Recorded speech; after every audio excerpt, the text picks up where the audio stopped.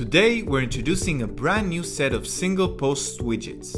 They're a part of a growing family of widgets that will help you design dynamic websites using Elementor's upcoming and much anticipated theme builder. Let's go over the new widgets.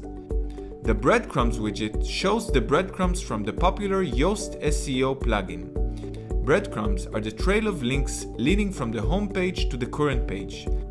They allow users to navigate through your site more easily and are important both for SEO and for improved user experience. The Author Box widget lets you customize the design of the post author box. You can either display the original WordPress user behind the post or create your own custom made author box.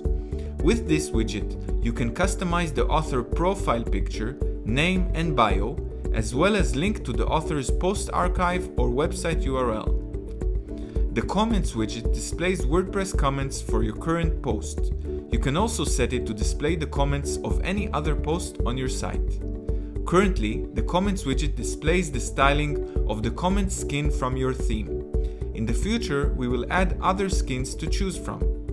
Last but not least, the Post Navigation widget integrates WordPress's previous and next navigation buttons, allowing visitors to easily navigate to the previous and next post. These widgets give you a glimpse into the endless design possibilities that will be available with the release of our theme builder. You can already play around with these widgets in your current sites, but for us, they're a huge step forward toward dynamic website design in Elementor. Upgrade to Elementor Pro and get acquainted with Elementor's new single post widgets.